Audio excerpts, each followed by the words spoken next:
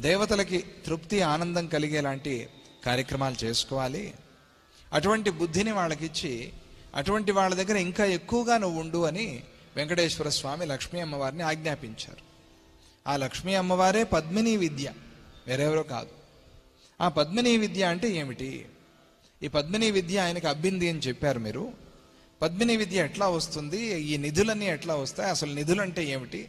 అని ఆ క్రౌష్టుకి మహర్షి మార్కండేయ మహర్షిని అడిగారు. అడిగితే అప్పుడు ఆయన ఆ మార్కండేయ మహర్షి చెప్పారు పద్మిని నామయా విద్య లక్ష్మీస్తస్యాశ్చ దేవత తథాధారాశ్చ నిధయ. అది ఆ పద్మిని అనేటువంటి ఆ విద్య వేరెవరో కాదు లక్ష్మీ అమ్మవారే. లక్ష్మీ అమ్మవారినే పద్మిని అని పిలుస్తారు. ఈ నిధులు ప్రధానంగా తొమ్మిది రకాలుగా ఉన్నాయి. అని ఆ నిధుల గురించి అంతా కూడా మార్కండేయ మహర్షి చెప్తారు. నిధులంటే ఎక్కడో భూమిలో దాగి ఉండే నిధులు కావు. ఈ నిధులు వాళ్ళు వాళ్ళు చేసుకున్న కర్మని బట్టి వాళ్ళని ఆశ్రయించే ధన సంపద.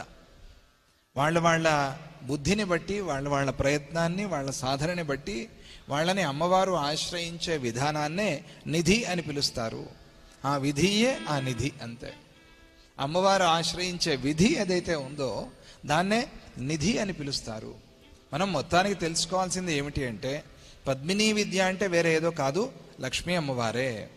లక్ష్మీ అమ్మవారికే పద్మిని విద్య అని పేరు అని. అందుకనే రకరకాలుగా మనం లక్ష్మీ అమ్మవారిని కొలుస్తాం. ధాన్యలక్ష్మి ధైర్యలక్ష్మి సంతానలక్ష్మి విద్యాలక్ష్మి విజయలక్ష్మి ఆదిలక్ష్మి ఇలా రకరకాలుగా అమ్మవార్లకి అష్టలక్ష్మి పేర్లన్నీ ఉన్నాయి కదా. ఈ అష్టలక్ష్ములుగా అమ్మవారిని ప్రతి చోట చూసి ఒక్కొక్క నెలలో కొలిచే పద్ధతి ఒకటి ఉంది.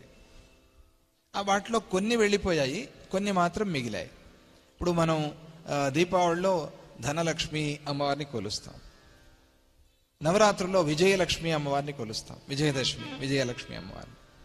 తర్వాత సంక్రాంతి అయిన తర్వాత సంక్రాంతి సమయంలో కానీ ధాన్యలక్ష్మి అమ్మవారిని కొలుస్తాం. అంటే ధాన్యం అంతా అప్పుడు కోతకు వచ్చి ఉంటుంది. కోత అయిన తర్వాత ధాన్యం అంతా పంట రాశిగా పోసి ఉంటారు.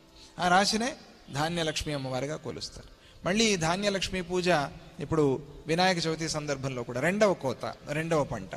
అప్పుడు కూడా మళ్ళీ ధాన్యలక్ష్మి అమ్మవారు. అలాగే సంతానం కావాలి అంటే సంతాన లక్ష్మి విద్య కావాలని విద్యాలక్ష్మి. ఇలా ప్రతిదీ ఎవరెవరి సాధనకి ఎటువంటి ఎటువంటి సిద్ధి ఫలము కలుగుతోందో అదంతా కూడా లక్ష్మీ అమ్మవారే. ఈ లక్ష్మీ అమ్మవార్లందరూ కలిసి మనకి జయలక్ష్మి అమ్మవారు అంతే ఆ అమ్మగా ఉంది అని మనస్సులో. ఆ తల్లిని ప్రార్థన చేసుకోండి. జయలక్ష్మి అందరికీ జయాన్ని ఇచ్చేది. అందరికీ అన్ని సాధనల్లోనూ జయాన్ని ఇచ్చేది. అందుకనే అమ్మవారికి జయలక్ష్మి అని పేరు. అలా ఈ పద్మిని అమ్మవారంటే వేరే ఎవరో కాదు. లక్ష్మీ అమ్మవారే పద్మిని నామ యా విద్య లక్ష్మీ తస్యాశ్చ దేవత. ఆ పద్మిని విద్యకి దేవత లక్ష్మి. కాబట్టి ఈ పద్మిని విద్య సిద్ధించాలి అంటే లక్ష్మీ అమ్మవారు సిద్ధించాలి ప్రసన్నం కావాలి. లక్ష్మీ అమ్మవారి కటాక్షం చాలా కష్టం. లక్ష్మీ అమ్మవారికి కోపం ఎక్కువ. కామాం క్షీరోద సంభవాం అని ఒక నామం అమ్మవారికి. అలాగే కామాక్షీం క్రోధ సంభవాం అని కూడా కొంతమంది పాఠాంతరంగా చదువుతారు. ఆవిడికి కామాక్షి అని పేరు క్రోధ సంభవ అని కూడా పేరు. క్రోధంలో పుట్టింది ఆవిడ. ఎట్లా? భృగు మహర్షి తంతునే ఆవిడ కోపం వచ్చింది. దిగేసింది. భూలోకానికి దిగేసింది. భూలోకానికి ఆవిడ కోపంతో వచ్చింది. కాబట్టి ఆవిడని కామాక్షిం క్రోధ సంభవం కొల్హాపురానికి కోపంతో వచ్చింది ఆవిడ. అమ్మవారు. మనం చాతుర్మాసం తర్వాత వెళ్ళి దర్శనం చేసుకుందాం అమ్మవారిని. కొల్హాపుర మహాలక్ష్మి అమ్మవారిని. ఆవిడ కోపంలో తెగింది కాబట్టి భూలోకానికి క్రోధ సంభవం అన్నారు. అప్పుడే అమ్మవారు ఆ వెంకటేశ్వర స్వామిని పద్మావతి అమ్మవారిగా ఆశ్రయించారు. పద్మాల ఆ సరోవరంలో ఉద్భవించింది అమ్మ. అలా క్రోధ సంభవం ఆవిడ కోపం ఎక్కువ. పైగా పద్మంలో ఉంటుంది ఆవిడ. పద్మమేమో చిన్న గాలికి చిన్న కదలికకే కదిలిపోతూ ఉంటుంది. ఆ పద్మంలో ఉండే తల్లి కాబట్టి ఆవిడ కూడా తొందరగా కదిలిపోతుంది. జాగ్రత్తగా ఉండాలి. ఆవిడని భద్రంగా భద్రపరుచుకోవాలి. జాగ్రత్తగా. ఎట్లా భద్రపరుచుకునేది? నువ్వు చేసే కర్మని బట్టి నీలో ఉండే శుచిత్వాన్ని బట్టి. శుచిత్వం ఆవిడికి చాలా ఇష్టం. నువ్వు ఇల్లు శుభ్రంగా పెట్టుకోవాలి. ఉన్న ఇల్లు ఏదైనా చిన్నదో పెద్దదో ఇల్లు శుచిగా పెట్టుకోవాలి.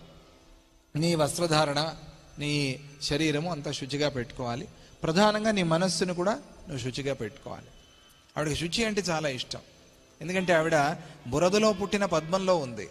బురదను పట్టించుకోదు ఆవిడ పద్మాన్ని పట్టించుకుంటుంది.